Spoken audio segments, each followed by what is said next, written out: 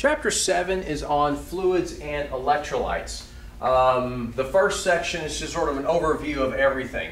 Uh, you, the percentage of body water varies from person to person. Infants have the highest percentage of body water, about 75%, elderly about 50% or a little lower.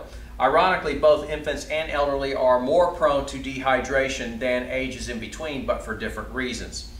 Now, um, the body water proportions include those inside cells, that's your cell cytoplasm, that makes up some two-thirds of all of your body water, that's intracellular. And the remaining one-third are extracellular fluids, that includes things like blood plasma, uh, interstitial fluid, and several other examples provided. Now, these fluids contain dissolved electrolytes, salts. So this happens to be sodium chloride, and when you put sodium chloride in water, it actually dissociates into its electrolytes. They have electrical charges. Now, electrolytes contain numerous functions, but major ones include nerve function, muscle function, heartbeat regulation, and so forth. Now, fluid balance has to do with having the, the right uh, combination of fluid in versus fluid out. You have a built-in thirst mechanism. Your hypothalamus of your brain uh, contains the thirst center. I described the thirst mechanism briefly in your notes, and my description should suffice. Fluid sources. Number one, drink fluids. Number two, there are fluids in foods. And of course, the third source would be uh, water derived by chemical reactions in the body, known as metabolic water. But metabolic water only provides about up to 10% of all the body water that we need. Uh, fluid losses. We lose some of the skin through perspiration and sweat. We lose through breathing because the lungs are moist. Uh, feces has various amounts of fluid. Urine has various amounts of fluid. So there's a certain minimum that we can't avoid. And of course, how much more we lose depends on the situation, where we are, what we're doing, and so forth. And your book describes some descriptions of what can cause greater fluid losses. Uh, you need to read over that. Now, the list of nutrients. Well, of course, water. Uh, the recommendations really kind of depends on how much you're losing, who you are, what you're doing, and where you're doing it.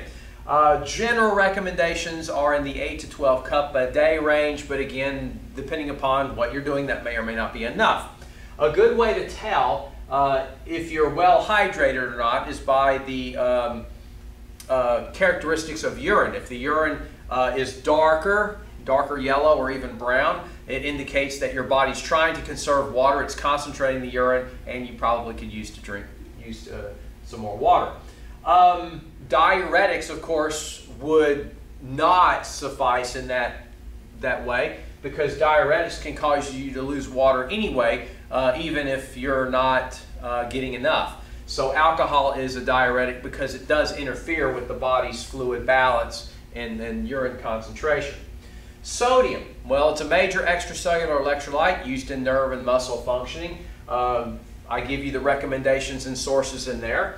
Uh, potassium, K+, plus, is a major intracellular electrolyte, also used in nerve and muscle functioning.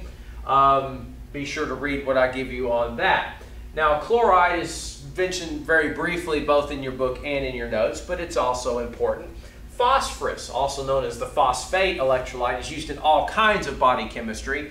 Um, it's also a part of DNA, RNA, ATP. It's also in the bones as calcium phosphate, and lots of foods contain phosphorus. Now, fluid electrolyte disorders, of course, include dehydration, simply not getting enough water. Uh, that section of the book does show you the, the urine color charts for being well hydrated or being dehydrated. Heat illnesses include heat exhaustion, uh, and heat stroke. Heat stroke is potentially life-threatening. Uh, the body loses so much water that it quits sweating and then the temperature just goes up and can reach fatal levels. Now the opposite of course is getting too much water. It is possible to drink way too much water and that's called water intoxication. It's pretty rare, but when it does happen, we tend to hear about it because it is so rare and unusual. Hypertension is actually discussed in the previous chapter, but I like to discuss it in this chapter. Hypertension is high blood pressure in other words, a blood pressure uh, equal or greater than 140 over 90. That top number is the systolic pressure when the heart is contracted. The lower number is the diastolic pressure, the pressure when the heart is relaxed. Hypertension is often associated with sodium, People hear about sodium because sodium is involved in extracellular fluid balance, including blood volume and blood pressure. It's tightly controlled by hormones.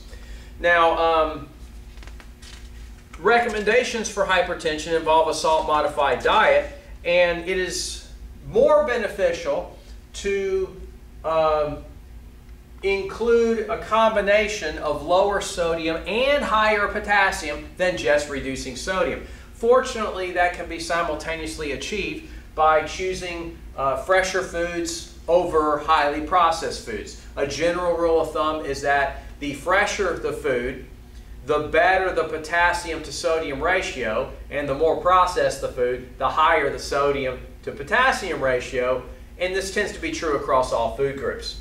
And this concludes our review.